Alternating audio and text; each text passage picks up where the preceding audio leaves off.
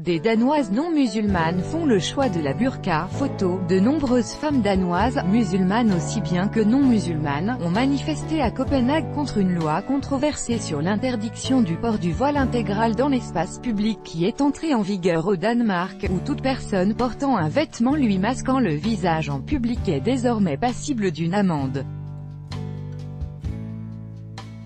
Plusieurs centaines de personnes se sont rassemblées mercredi 1er août à Copenhague pour dénoncer l'entrée en vigueur de la nouvelle loi qui interdit le port du voile intégral islamique, niqab ou burqa, dans les lieux publics.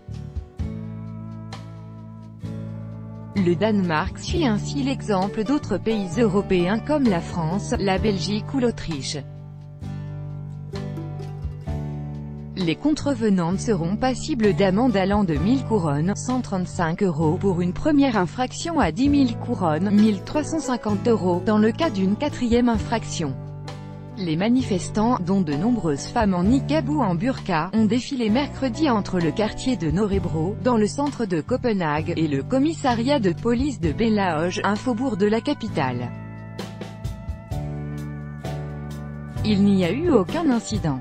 On estime entre 150 et 200 le nombre de femmes qui portent chaque jour le niqab ou la burqa au Danemark. Les musulmans représentent environ 5% de la population du Danemark, qui compte 5,7 millions d'habitants.